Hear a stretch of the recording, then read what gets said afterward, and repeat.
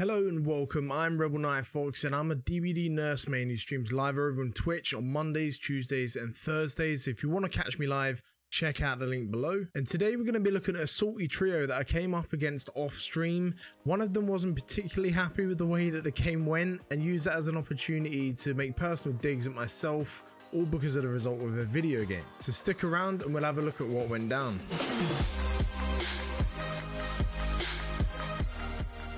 So earlier today, I happened to be playing some games off stream to try and rack up some more BP to unlock more perks on more killers. Now, whenever I'm off stream, if I do notice I'm coming up against TTVs, I do hit the record button because you just never know what you're going to encounter. And I just want to make a quick statement in regards to the TTVs involved. I will be blurring out the TTVs names throughout the footage you know, I don't want to encourage people to ever go over to their streams and give them any general nastiness at all. It's not what I'm about. It's not what the community is about.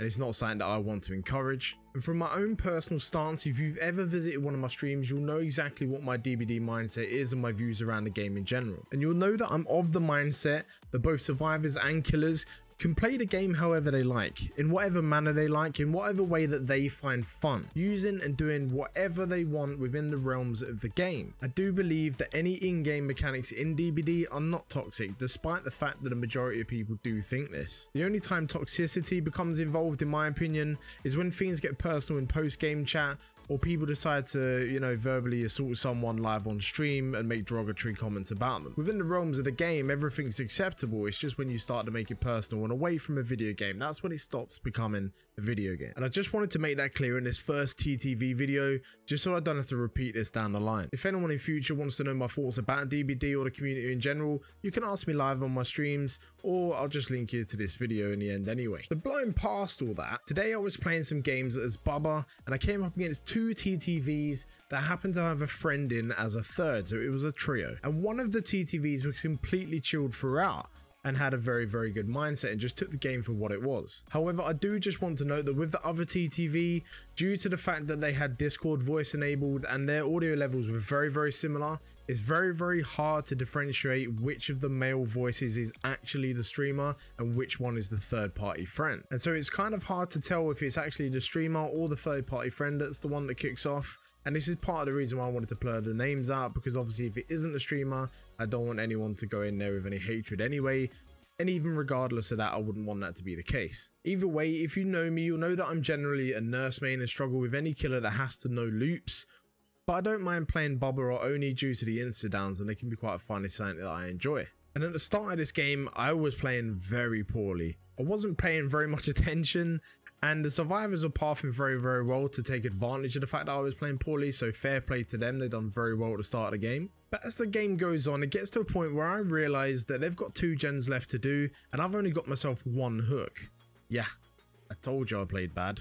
So as any killer main will know, at this point, I need to get someone out of the game to turn the control back into my favor. And I will cut into this video to give a chat as it goes on. But to give a summary, I hook one survivor after getting my first hook and notice I only get two people on barbecue. Now they're unaware that I've got barbecue at this point, so I know that that means that the last person has to be close by. I find them and end chase to burn down some hook time whilst the other two survivors sit on the gen. By the time a third survivor comes over to help, I've already downed a second survivor and at this point I just pick them off one by one as they try to dive the hook in desperation. Now, obviously against the Bubba, this misplay ends up bagging me a 4k out of literally nothing. But after the game, one of them checks out my channel and decides to make derogatory comments about myself. But enough chit chat for now, have a look yourself and see what happens. So like between 6 and 7 till like 2, 3 and like honestly, when I walk in and like people try and talk to me, I'm like honestly, please just fuck right off.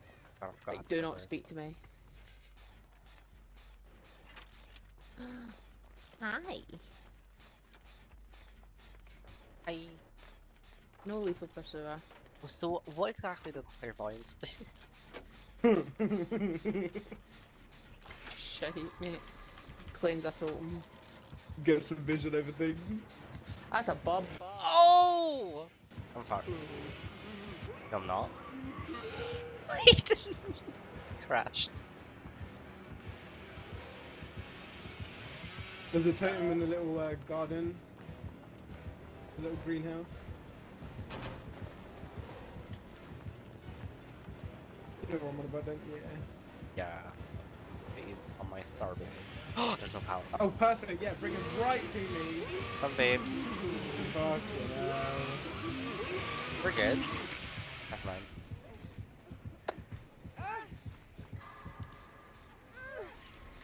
He's got agitation.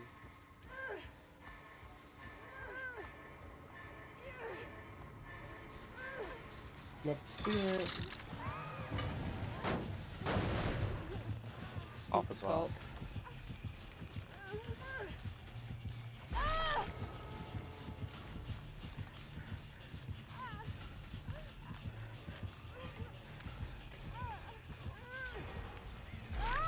Ross, fuck up.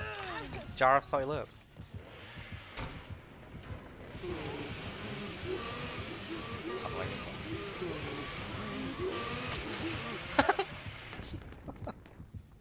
We love it, Tunnel.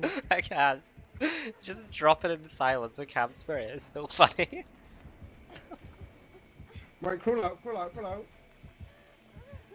Not that way, not towards the rock. Oh my god. Sorry. It's fine. Tell me when you're fully recovered. 50%.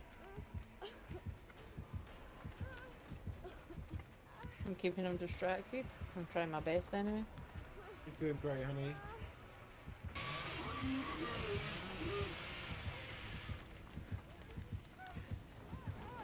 Not instantly switch it.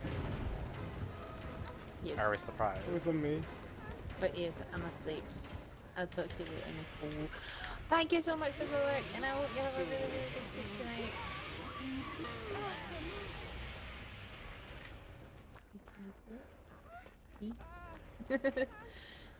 I did two super early shifts once first.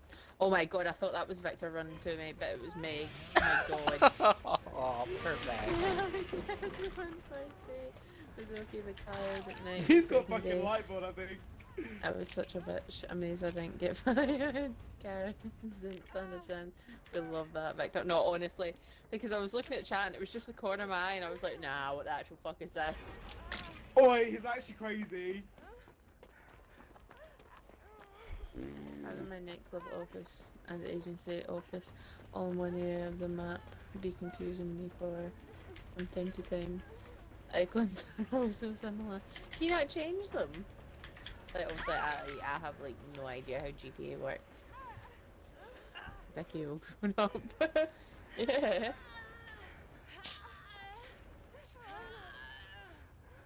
And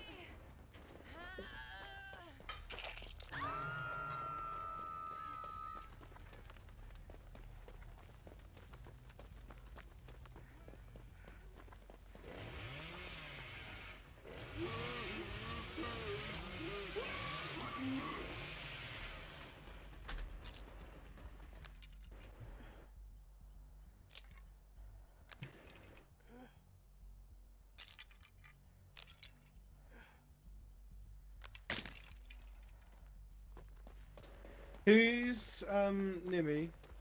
Me. If you just Killer. unhook, because I think he'll think I have like decisive. Then I can just unbreakable up. Ooh. I can come. No BT though. Oh no. Oh. Do you not see that on Kindred? I can see him shaking. Oh! Uh, he's actually a camper. Fucking weirdo. Oh no. Our game is. No. Oh, I hate that's not very good.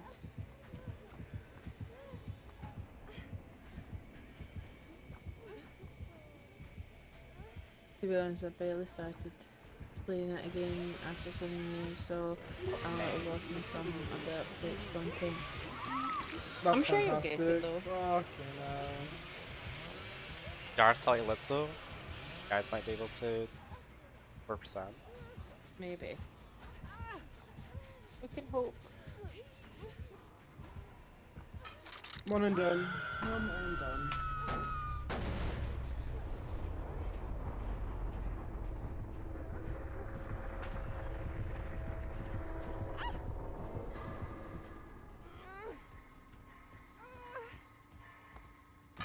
This will make them 4%.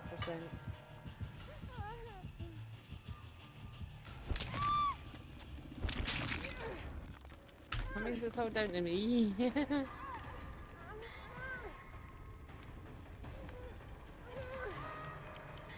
I don't have man hurt. Of course he I've will, seen is this on Oh, it's actually a TTV. uh, Very fucking good. I swear to fuck if it's that bitch again. It's actually a TTV. You know who I'm talking about, Nicole? yeah, I do know who you're on about, but it's, it's not even them. Like, it's actually. uh, Who? Reverend Right Fox. Are they live? No, of course not. I'm Bubba.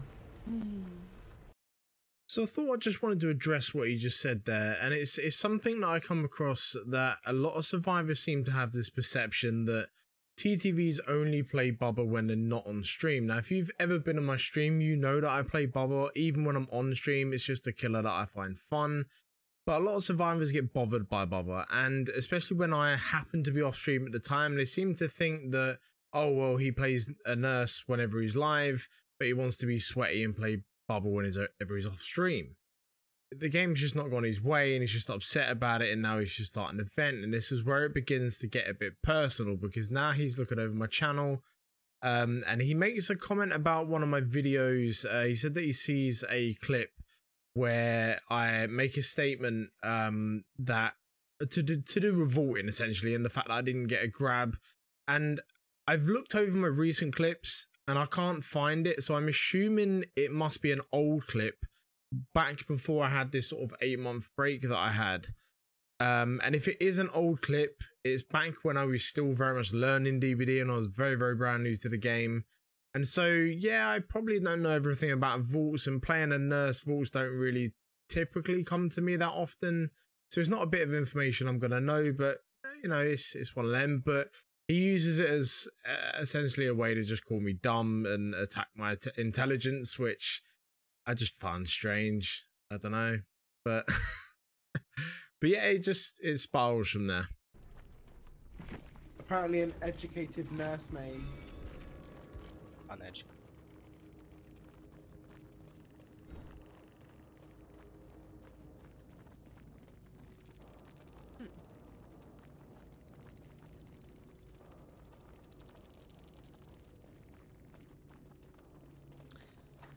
edge. I said, bitch, stop texting my phone.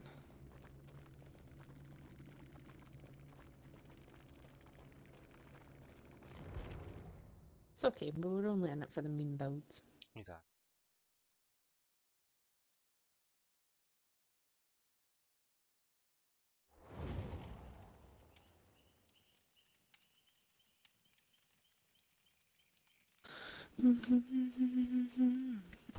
oh. Are we doing a nib? Uh, yeah, not fucking random. Um, They're random.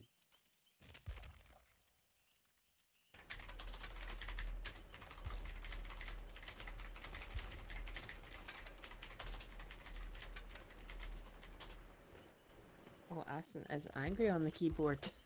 Hmm. um, To who? What?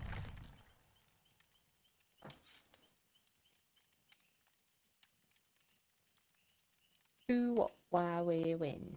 Oh, it was me that put salty lips on. Twins?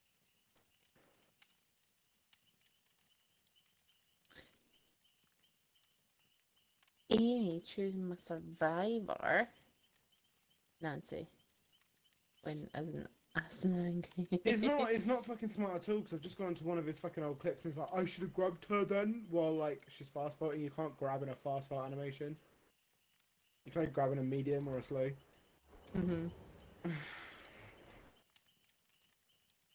Like it's fucking dumb. He's dumb. Right. Anyway, um, we're doing that again. No.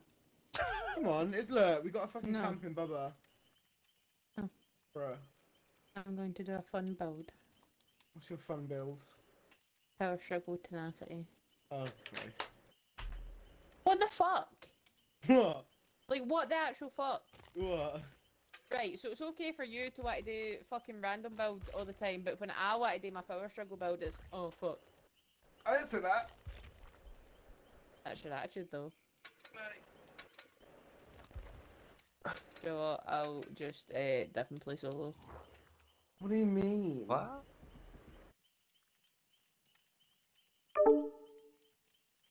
Bruh. What? Bruh. Uh, okay. And so you can see what's just happened at the end there. So the guys spattered on about my channel and about me making comments about my intelligence levels in in regards to DBD itself or knowledge of the game. Which, like I said, I'm pretty sure the clip he's found is from a while ago. Because I, I did look through my recent clips since I've been back streaming and I, I couldn't find where I said that. So I'm assuming it's one of the older ones. I didn't go that far back. Um, but yeah, so all in all, he's sort of gone off on a tangent, and uh, you know the uh, the other streamer, like I said, has been chilled throughout the game and had a really good mindset and just took the game for what it was.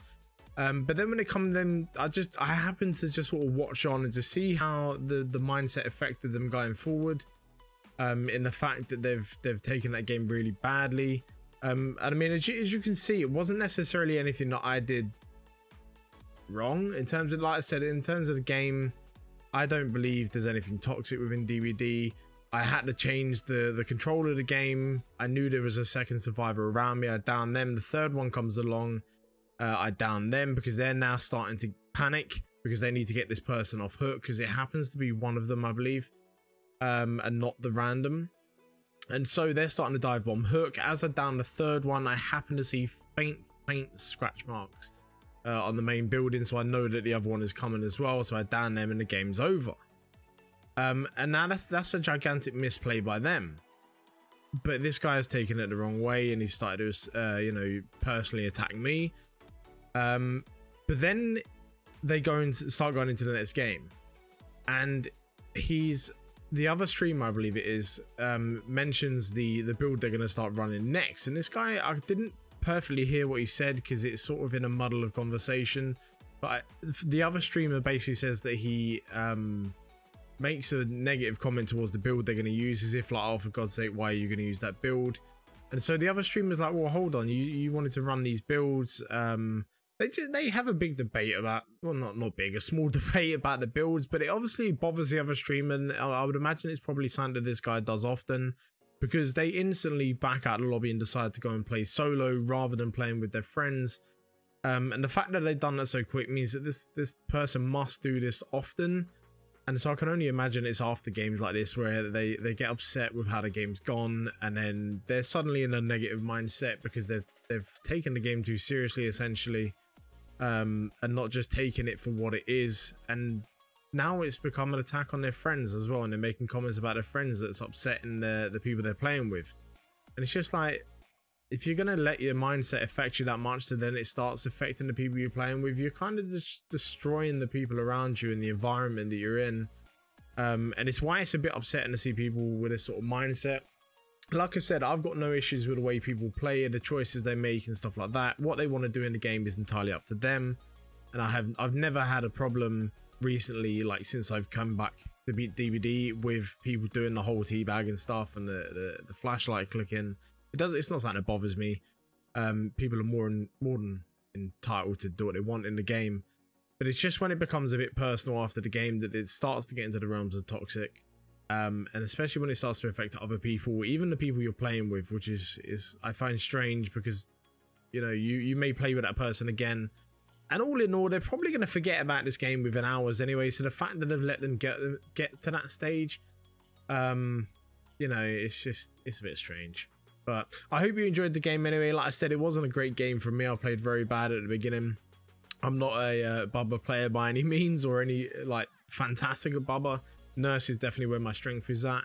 But I hope you uh, enjoyed this. Just sort of insight into some streamers that I've come up against now. Um, and I will be looking to do more of these videos and sort of calling out these people. Obviously, I'll, I'll keep continuing to blow out the names. I don't want to incite hatred upon anyone at all, or even invite the opportunity that someone who doesn't necessarily watch my stuff could go in there and say anything. Uh, I want to avoid that as best I can. but yeah, I will definitely start to sort of call out these people going forward. I have recently noticed a sort of change in mindset towards the community. I'm not noticing this come up as often as it used to when I first started playing DBD. Um, but I will start to to produce these videos just to, more just to highlight the people that personally attack it and take the game a bit too seriously. I think it's just um it's it's interesting. I've always enjoyed the videos like that, uh, and I always find it interesting to look at it and take a step back after the game's sort of done and see why they got to that stage or why they said what they did. I know there's been a lot of talking in this one, but it is my first one, and there's a lot of things that I sort of wanted to go over uh, and explain, like to do in my mindset and the way I feel about DBD. And that way, I just don't have to do it in future. Um, but if you do like the content, like I said, if you can hit that like and subscribe, that would very much appreciate that. It really, really helps me out. Um, I will be doing more of the how to nurse main videos coming up soon. And I've got a few more things in the background that I'm working on as well. But if you uh, do want to catch me live, head over to Twitch and hit me up at Rebel Night Fox. And I'll catch you all again in the next one.